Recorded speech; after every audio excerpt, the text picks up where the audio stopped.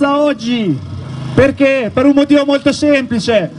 Perché di fascismo ancora si muore. Si muore in questa regione, si muore in questa città e si muore un po' in tutta Italia e anche in tutta Europa le politiche fasciste e razziste a partire dall'Unione Europea, così come in questo paese, hanno dei nomi e cognomi. In questo paese si chiama Lega Nord, si chiama Matteo Salvini, che è il mandante politico di quello che sta succedendo, di quello che è successo pochi giorni fa a Fermo.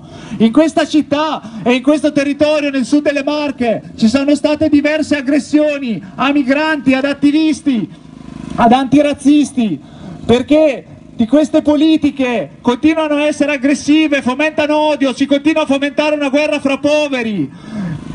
Noi diciamo che invece la guerra va fatta alla povertà e la povertà non ha colore della pelle, non ha provenienza e non ha carta d'identità.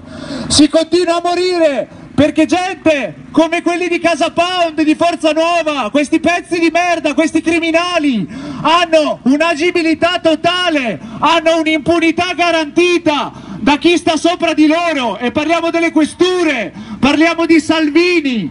In questo paese si continua a morire di fascismo perché viene ogni volta strumentalizzato qualsiasi tipo di cosa.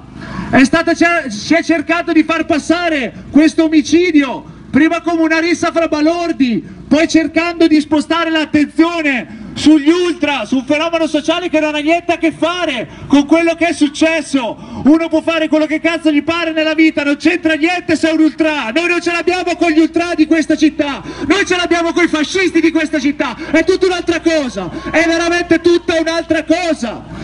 Di razzismo si continua a morire, allora noi oggi diciamo che è un punto di non ritorno. A Emanuel per sempre, con rabbia e con amore, non succederà mai più. Chiudiamo tutte le sedi di Casa Paude e di Forza Nuova in questo territorio.